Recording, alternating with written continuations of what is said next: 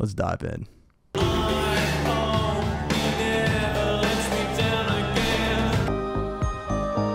Oh my god. It's so dark. Something so sinister about this.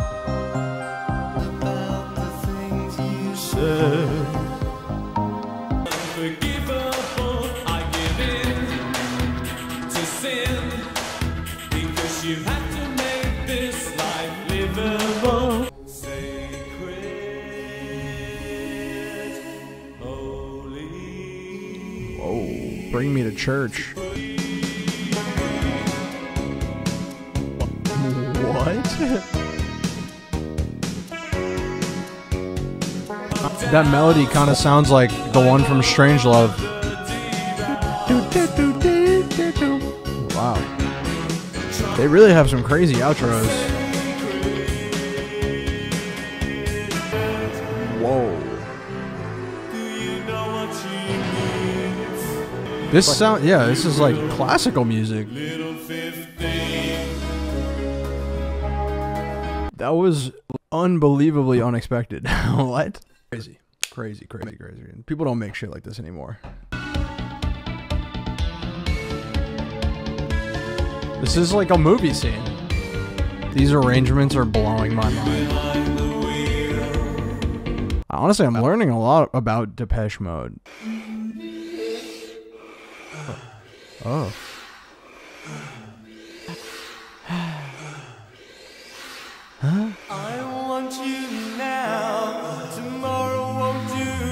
Sir? You're breathing on my neck, sir. That was just so weird. This album is absolutely throwing me. I have no idea what to expect. This is an incredibly unpredictable album. All right. Wow, incredible synth work here. Oh, fuck. Yeah. Hmm.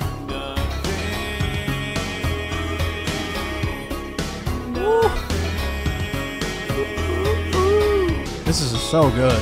Wow. This is why we do this. I've never heard this song. This is so fucking good. That might have been my favorite on this album so far. That's so great. Made a song about nothing, made it great. They just throw in these classical music pieces out of fucking nowhere. Like what what is this? But like a timpani? Huh?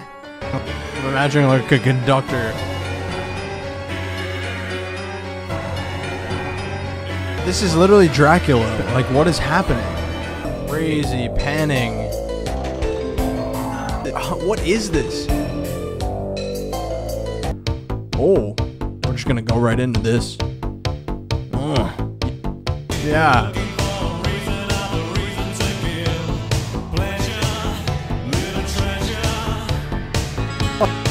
Oh. Pleasure, little treasure.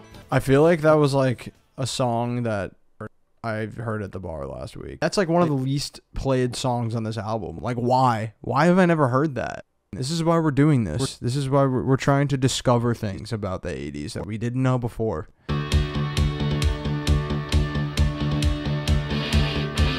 Tell me why this is the most random album. Like, how are there two blues songs in a row?